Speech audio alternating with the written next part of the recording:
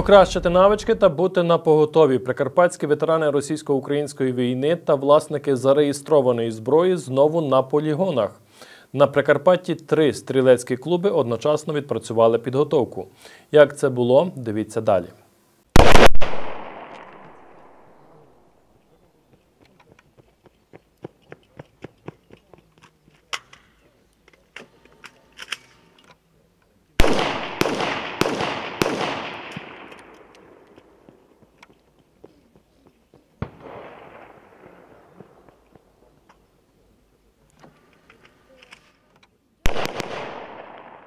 Ось так прикарпатські представники оперативного резерву та територіальної оборони відпрацювали одну із справ вогневої підготовки. Роблять це щосуботи.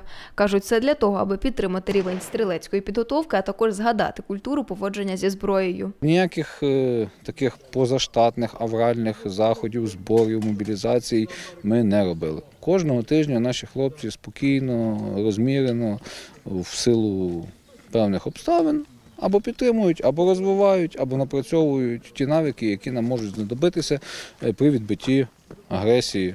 І на війні з російським окупантом. Незалежно від того, що і як об'являють е, наша держава, ми підтримуємо ті навички, тому що вони нам можуть знадобитися, вони нам знадобляться однозначно, допоки не будемо, допоки ми не звільнимо свою землю, допоки та імперія на сході не перестане існувати. Ми хочемо показати цим, що ми завжди готові до будь-якого розвитку подій зі сторони агресора, сторони ворога, саме Росії. Будемо чітко називати власне все своїми іменами. І власне цей день, щоб повторити. У нас вогнева виключно весь день. Маленькі вправи по вогневій, нічого такого складного. Виключно, щоб згадати от той досвід, який ми здобули на передовій. Ми розуміємо, що нічого складного зараз хлопцям не можна давати, тому що е, ну, переважно повторюють хлопці. Серед учасників стрільб і Сергій Демчук, чоловік, представник однієї з націоналістичних організацій країни та власник зброї.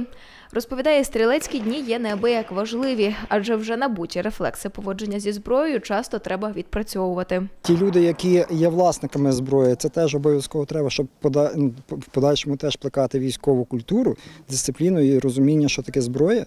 Щоб навіть якщо підходити до е, прийняття закону про зброю, ми більш була свідоміша нація, і тоді можливо буде менше втрат, і все буде більш професійніше, кваліфікованіше.